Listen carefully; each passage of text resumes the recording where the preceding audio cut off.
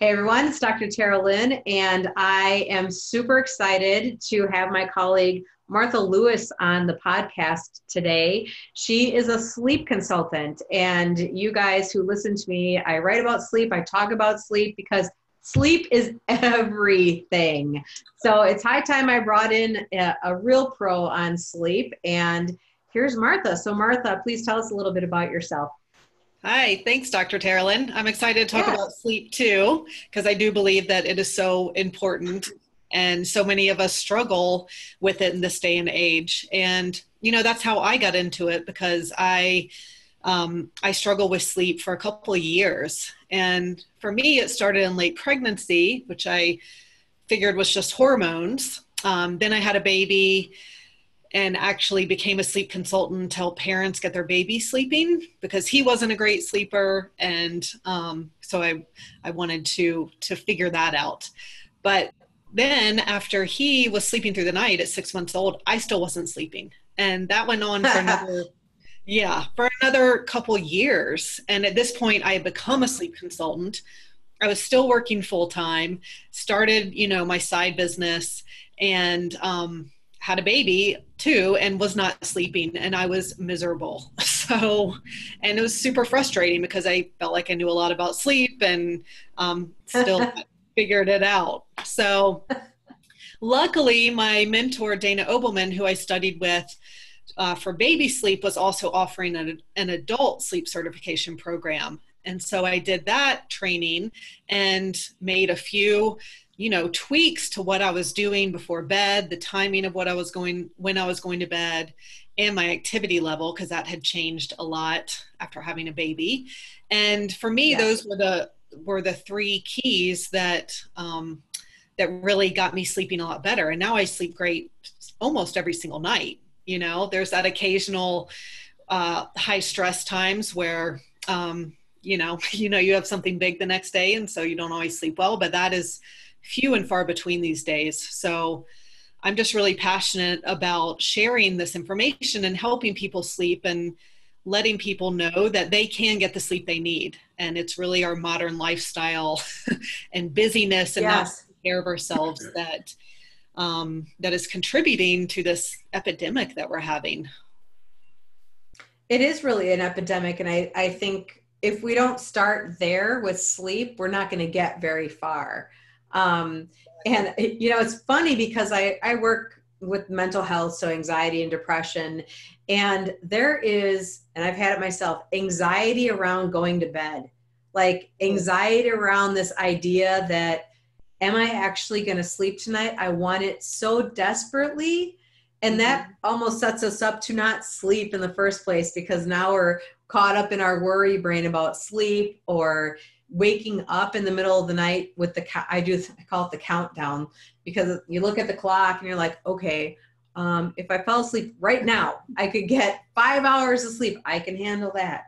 Oh crap! If I fell asleep right now, I could get three hours. That's gonna suck really bad. You know, like it's yeah. the it's the sleep countdown, and I think a lot of people are really stuck in that um, whole thing it's it's a mindset around sleep. It's an it's an anxiety it's a worry um, and it's everything.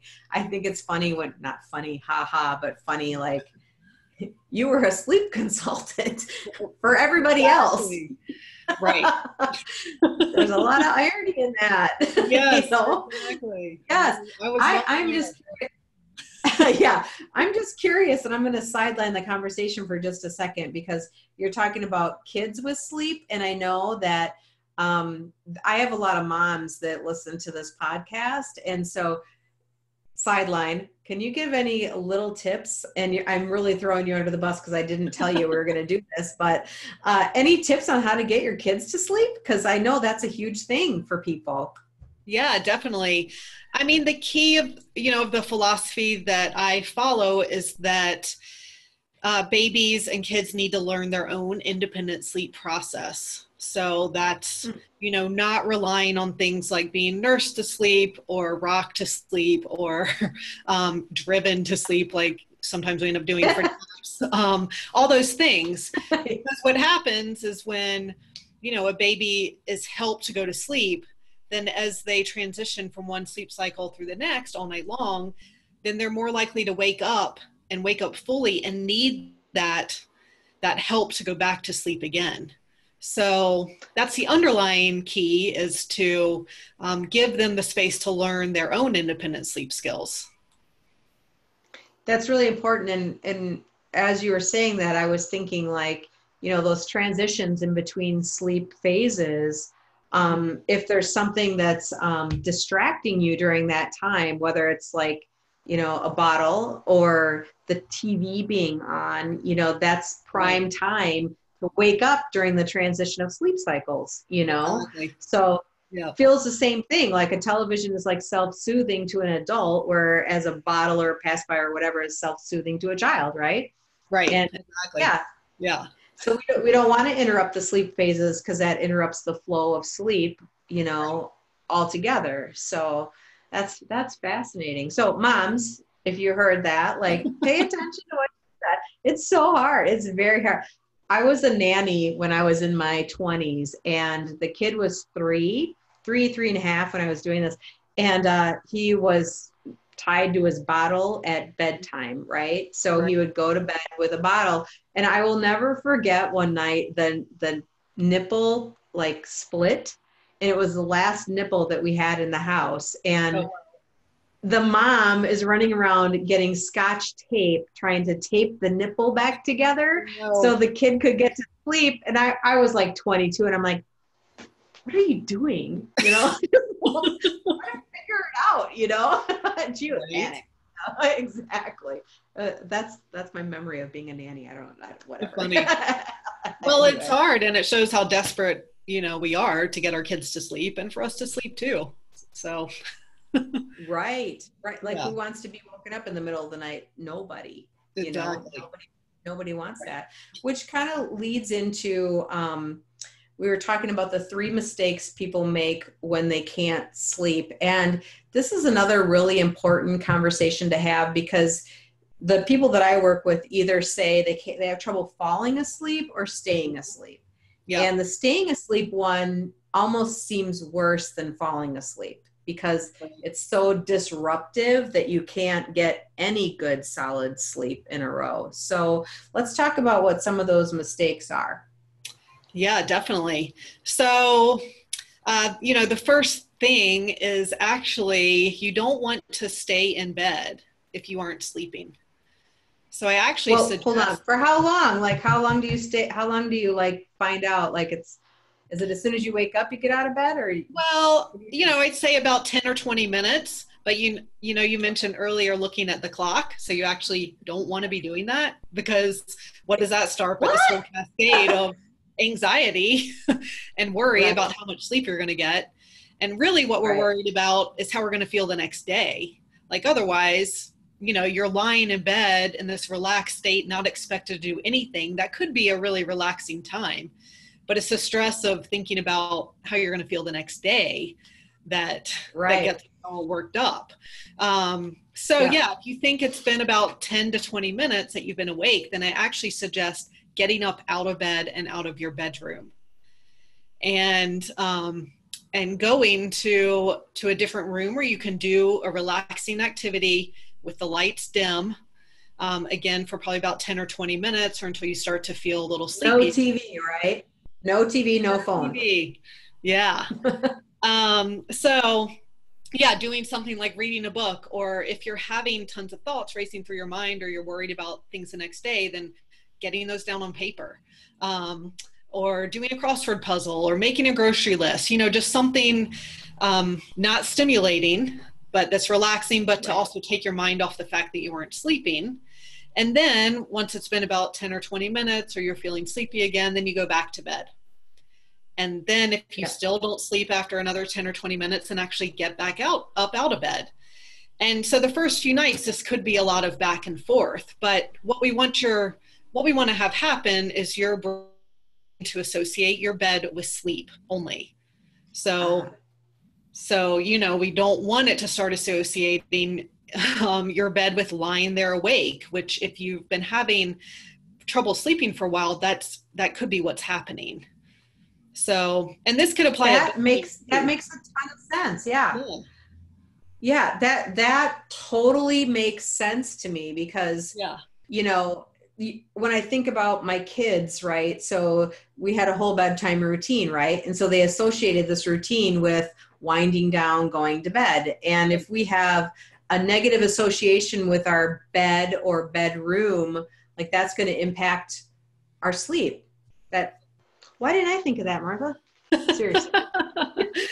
It's funny it's it's something that seems very obvious right? But it's actually not like right. common knowledge. It's not the first thing you find when you search for this stuff on the internet you know? So yeah right. Well good. That's why we're talking about it here. Yeah exactly know? but i it is a, a really big key.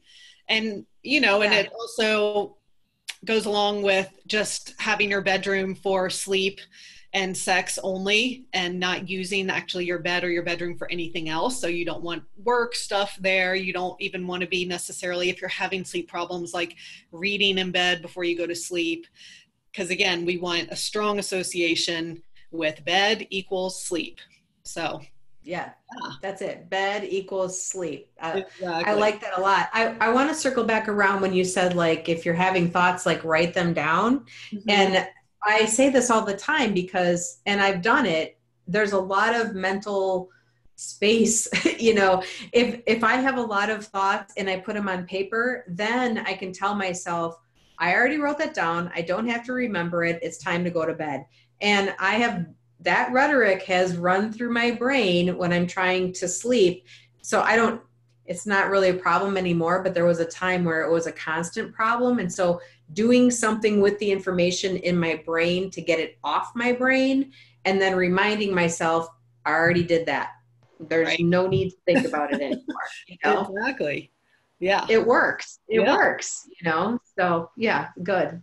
Awesome. good see i tell people all the time like um because i use essential oils in my bedroom mm-hmm. um because getting back to that association thing like associating a smell with sleep right you know yeah, mm-hmm. definitely. It's a great idea. So, For sure. Yeah, same thing. Um, yeah. So the second mistake I was going to talk about, you actually already touched on when you mentioned the screens, because let's talk. Let's do it. yeah, exactly. Because you definitely want to avoid screens right before bed and especially in the middle of the night. And it's so tempting, right? When you can't sleep to just pick up your phone, you see the time, you start looking stuff up or scrolling through Facebook or whatever it is. But there are two reasons not to do that. um, first of all, uh, the blue light that's emitted from screens suppresses the production of melatonin, which is our sleepy hormone. Mm-hmm. And so we definitely, you know, want melatonin levels to stay high if you want to have any chance of going back to sleep. So right. that's the main reason. Um, but also, screens stimulate us and they make us wired but tired. And a lot of times, the stuff mm-hmm. you're looking up is going to make you stressed, you know, give anxiety, whatever. If you're looking up, I mean, I mean, I remember looking up, why am I not sleeping at three in the morning? And you find all kinds of crazy stuff like going through this why can't I sleep? crisis and yeah, all this stuff. It's like, okay, but now it's been Plus months. Cancer. Cancer. What? Yeah, can't exactly. so if you get stressed, while you are sleeping or trying, you know, while you're not sleeping, then that's stimulating cortisol, our stress hormone, mm-hmm. which suppresses melatonin, which mm-hmm. makes it practically impossible to go back to sleep. So that's another big one is to really you know avoid screens and if that means that you don't even have your phone in your bedroom you figure out another alarm clock or something um, so that you're not even tempted to look at them in the middle of the night.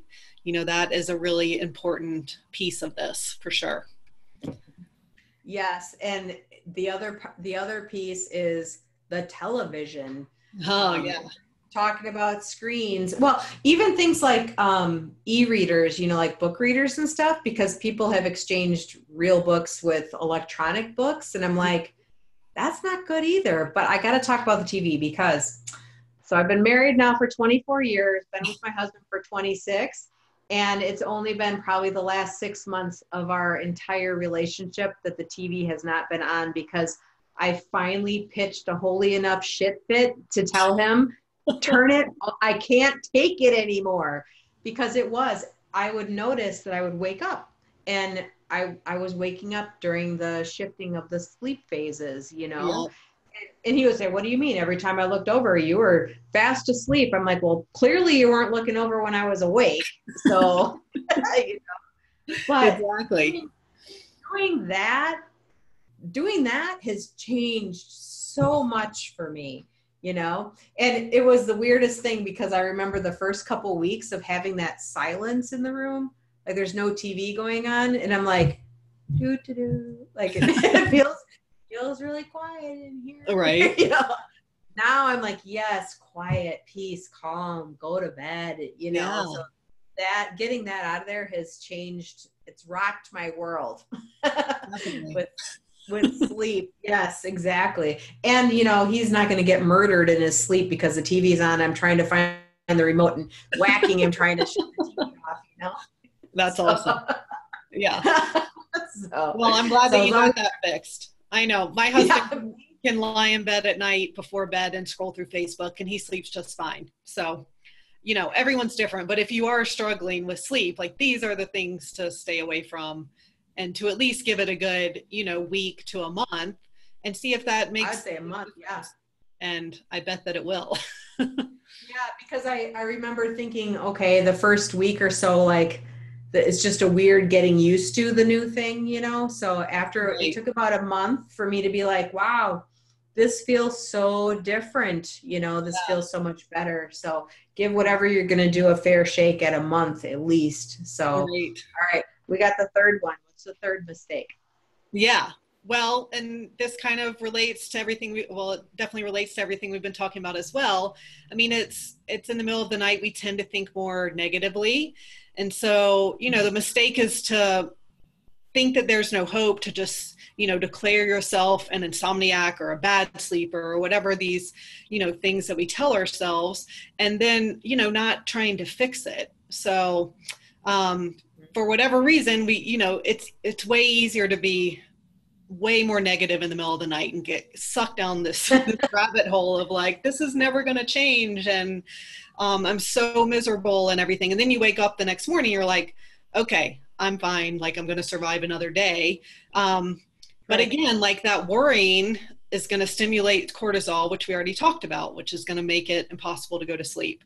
So, um, so that's just one of the big things is, is, you know, if you are, if you find yourself worrying in the middle of the night or thinking, you know, looking at the clock, thinking about how you're going to feel the next day, it's, like I like how to bad you're gonna feel the next day. Yeah, exactly. Like I recommend having some kind of sleep mantra, I call it. And so I have my, you know, work with my clients to pick something that that resonates with them, but something like, you know, I'll be fine tomorrow because I always am, or you know, just remembering like all the times that you haven't slept well and that it's actually not the end of the world the next day.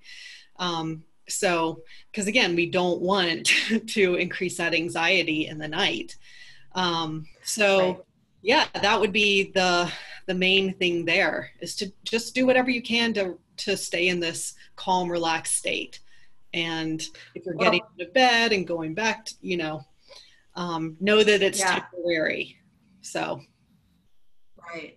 I I want to talk about that idea that when you worry, you're hard on yourself, and for some reason we're hard on ourselves in the middle of the night. Um, you know, we talk about your body producing cortisol. You're stressed out, when you're in your fight or flight, like you're in your um, trying to save your life thing, and that's not a positive thing to be, right? That, that's like a everything is horrible. Like, what are we gonna do? Like, you know, all of that.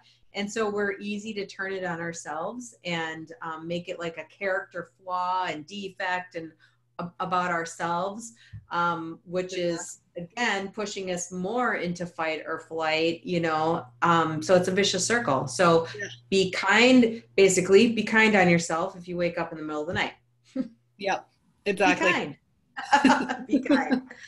all right so what as a, as a big takeaway if somebody could only do one thing to help them improve their sleep what would that one thing be hmm that's a tough one because there are so many things. I mean, kind of everything you do during the day sets you up for whether you're going to get a good night's sleep or not. Everything you do before bedtime sets you up. So it is this very comprehensive pretty complex thing for something that should just be really easy and for good sleepers is really easy you just fall asleep um, well i think that's why i think that's why so many people say like well you got to get better sleep well thank you captain obvious how do how do i do that you know and and i i was just i just had a thought too like when you wake up in the middle of the night and you're hard on yourself for not falling asleep or getting the sleep that you want but you haven't changed any of the other stuff that could set you up for good sleep, then that's on you. Like look at something to change, you know, right. and then start doing that instead of just, oh, I wake up and I'm hard on myself. Well, what did you what did you do to make it easier on yourself? Well, I didn't do anything. Well, maybe we should start there then. you know, right. maybe we exactly. Yeah. Yeah. So yeah, go ahead. Sorry, I didn't mean to cut you off there. No, that's okay. I mean, it's again it's hard to pick one thing but i would say you know the most common reason people say they can't sleep is because of stress so and of course that makes so much sense and it's funny because when i wasn't sleeping my stress levels felt through the roof right? Like i had all this stuff going on work new business new baby all these things and it just felt unmanageable. But actually as soon as i figured out my sleep my stress like you know the external stressors stayed the same but how i felt uh, did not feel as stressful. So it's just crazy how it just goes hand in hand with not sleeping and feeling more stressed but not sleeping because you're stressed. And so it's all just right. really interconnected. Um, but yeah but managing your stress is a huge part of it. And so you know that that needs to start really from first thing in the morning. Um, and and you know making sure you're doing things throughout the day so that your cortisol levels aren't always just through the roof all day and all night long. And and then taking some time to relax before bed is super key as well because that um, you know gives your brain a chance to rest and relax and process the day um, and to wind down. Like we can't just expect to wake up to our alarm clock blaring get up go go go all day you know, fall in bed and fall asleep and sleep peacefully. It just doesn't work like that. So. That's funny because I, I think about the alarm clocks and I'm like, yeah, literally you're waking up to an alarm that's screaming at you, fire, fire, go, go, go. Exactly. right. Cortisol release. Yeah. Which, yeah, you know, cortisol has a bad rap. It's a very important hormone and it should be high in the morning.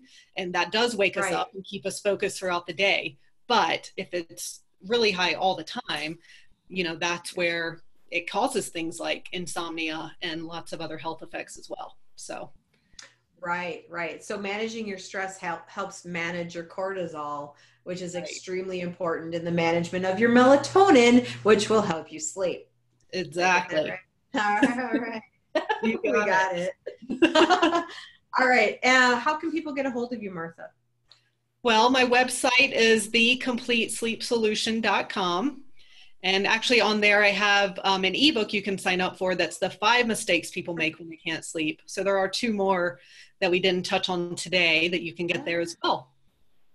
Perfect. So all of that will be linked in the show notes if anyone wants to go snag that free ebook. Her website will be in the show notes and you can do that. And I strongly suggest anyone having trouble with sleep that you do that. Um, yeah. Because, like we said in the very beginning, it's everything. It, totally. Your mental health starts and stops there. So pick that up. All right. Well, thank you so much, Martha, for being on with me. It was very fun and um, informative as well. So I look forward to uh, having you on again, perhaps. Okay. Thank you so much. Thank you, everyone. Thanks for tuning in. Please leave us a, um, a comment and make sure you subscribe to Kick Off Your Damn Heels.